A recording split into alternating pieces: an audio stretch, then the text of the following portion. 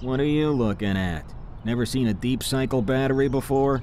I'm living in the worst environment imaginable. Every day I'm worked to sheer exhaustion and then have to be recharged. It's hot. I'm getting banged around constantly. Rarely do I even get a glimpse of sunlight, and when I do, oh, hey, how you doing? I get hosed down.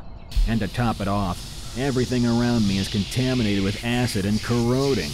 How's that for existence? Sounds like your golf cart batteries need some love.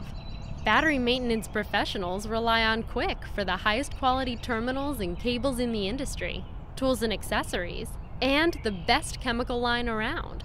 Prolong the life of your golf cart batteries with Quick.